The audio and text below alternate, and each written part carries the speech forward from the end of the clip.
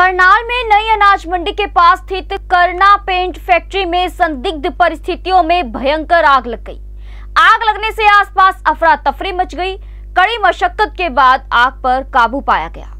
सूचना मिलने पर दमकल विभाग की गाड़ियाँ मौके पर पहुँची। जैसे ही मामले की सूचना, प्रशासन को मिली, पूरा प्रशासनिक अमला भी मौके पर पहुँच गया। आपको बता दें कि डीसी निशांत कुमार यादव तथा पुलिस अधीक्षक सुरेंद्र सिंह भोरिया पूरे पुलिस दल बल के साथ मौके पर पहुँचे।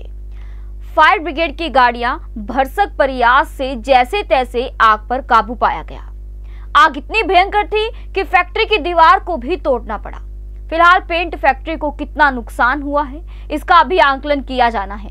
गनीमत यह है कि आग पर समय रहते काबू पा लिया गया। अन्यथा अप्रिय घटना भी हो सकती थी। फैक्ट्री के साथ ही नई अनाज मंडी है और फैक्ट्री के साथ ही नेशनल हाईवे भी लगता है। वहीं आग लगने के कारण अभी संदिग्ध है। मटेरियल है वो जला है और स्थिति नियंत्रण में है। गाड़ियाँ हमारे पास फॉर्म की फाइव टेंडर्स काफ़ी हैं। बाकी आसपास के डिस्ट्रिक्ट से रिफाइनरी से भी मंगा ली है। स्थिति सर किस नाम से फैक्ट्री है जी?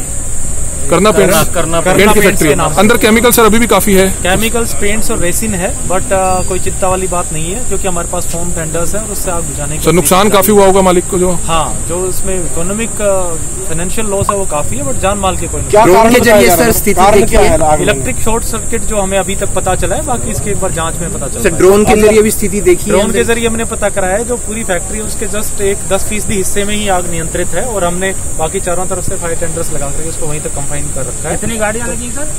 अभी जो यहाँ की तो सात फायर टेंडर्स फ़ोन की लगी हुई है बाकी कुरुक्षेत्र पानीपत से मंगाई जी पानीपत एनएफएल से भी आ रही है। जो हमारे यहाँ गुढ़ा केमिकल प्लांट है वहाँ से भी गाड़ियाँ हैं। तो कुरुक्षेत्र से भी आ रही है।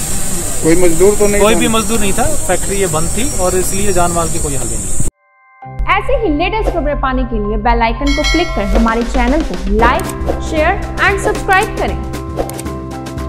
धन्यवाद।